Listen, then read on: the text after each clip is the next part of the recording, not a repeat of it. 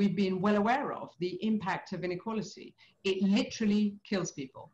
And if we needed any further proof of the impact uh, of those inequalities, then the coronavirus pandemic has shown how those inequalities then culminate in those people who have suffered in terms of health impacts and other impacts. If we are to address those issues, we need to think about inequality in much more granular terms. We need to look at inequality and poverty pockets of poverty in every part of our country, in every community, uh, whether it's in white disadvantaged communities or BAME communities.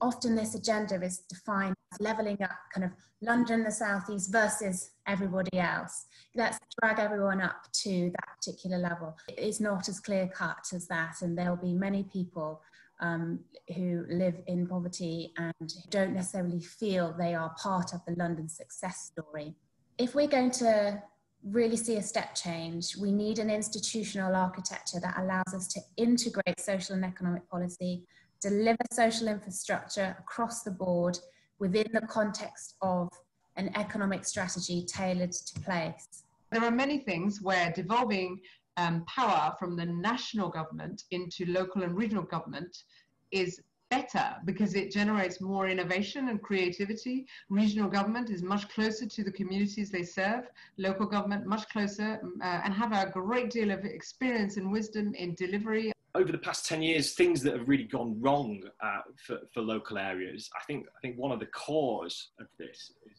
is the funding of local authorities and of councils. Um, councils have lost about 60 pence in every pound of central government funding since 2010. The only thing, though, is that it seems to be a competition uh, for pots of money that are announced centrally, as, as I was saying before. You've got the, the Towns Fund, the Future High Streets Fund, we've got the, uh, uh, the Beeching Cuts Reversals Fund, um, all of these pots of cash that just create kind of a, um, a competition between local areas that's not particularly helpful